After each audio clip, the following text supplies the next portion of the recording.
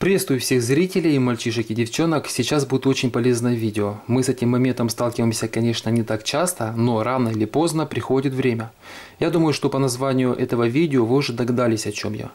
Как удалить аккаунт Google из телефона. Однажды я тоже искал ответ на этот вопрос.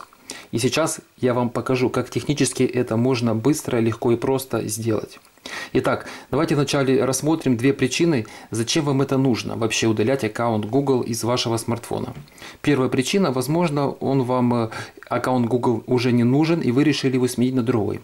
Вторая причина, она самая часто встречается.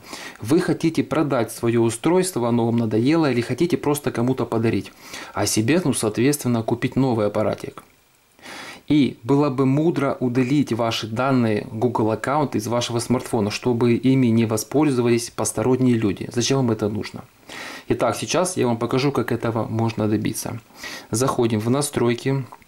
На примере своего старенького смартфона Xiaomi э, Redmi 4A, который не смог, к сожалению, прошить и обновиться до MIUI 11, ничего страшного, там в принципе все похожие, что MIUI 10, что MIUI 11 в этом плане.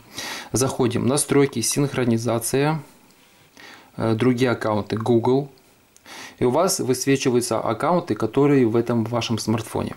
В данном случае мне нужно удалить вот первый аккаунт. Смотрите, я на него нажимаю, нажимаю потом еще, и здесь вкладочка «Удалить аккаунт». Соответственно, я нажимаю «Удалить аккаунт», удалить аккаунт. Все, этого аккаунта больше нету. Теперь смело вы можете делать с этим телефоном все, что захотите. Надеюсь, это видео вам понравилось и вы нашли ответ на свой вопрос. Буду вам очень благодарен, если вы поставите лайк, подпишитесь на канал, возможно, даже поделитесь этим видео с друзьями.